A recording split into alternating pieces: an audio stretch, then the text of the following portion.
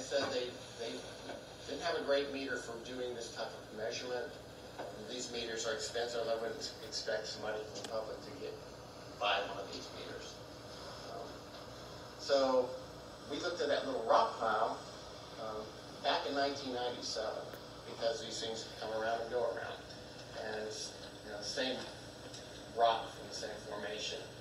And the Florida Department of Health Bureau of Radiation Control did the survey, and they got about 0.55 uh, microsieverts per hour, which is about um, five bananas, five bananas an hour. Um, estimated a child that would visit frequently, and they they estimated based on like weekly visits by a child that gave would get less than one percent of the public dose limit. So this is how people are exposed to radioactivity and radiation. So it's in the soil. Um, if you have a backyard garden, um, some of those plants could take up some material and you can ingest that. Or inhalation from radon buildup in your home that John talked about. Um, and then just direct the radiation from the soil, which when you're in your house, you have some shielding from that. So we've seen, in terms of external irradiation, the reclaimed lands are low compared to the rest of the country. Uh, if you look at the Hardee Lakes Park Pebble Driveway and the Mulberry Rock, um, they're higher than background soil, but they're not too high. So about three to four banana units when measured by people with the right equipment. Dust inhalation. So this was a question, now we're going to deal with that one the alpha emitters will give you most of the dose.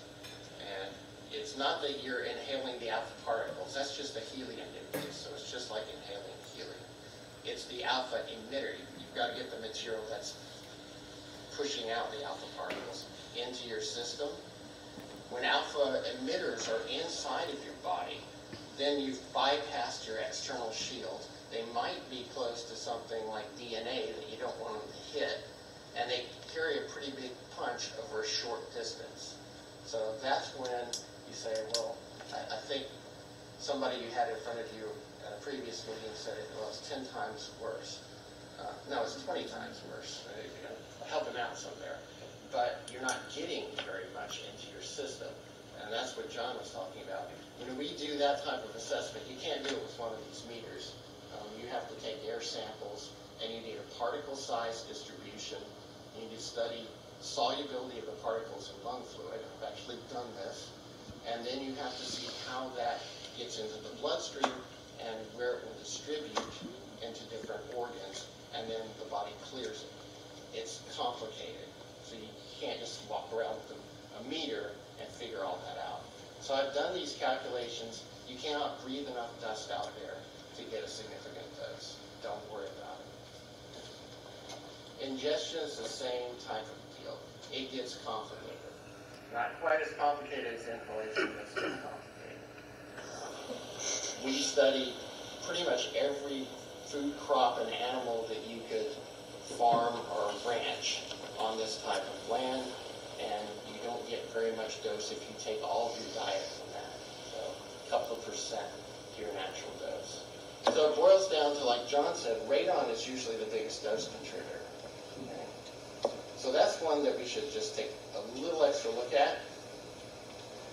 Um, this is from Lawrence Berkeley National Lab.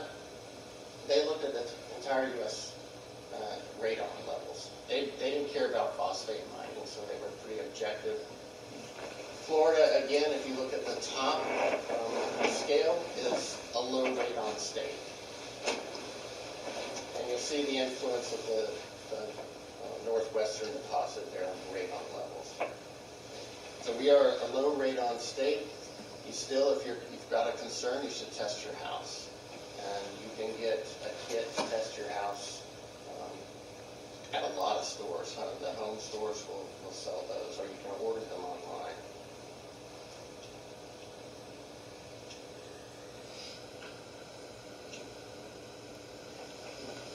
So if you're looking at radiation and health, um, concern when we're exposed to radiation is the possibility of getting some form of cancer. And There are a lot of other carcinogens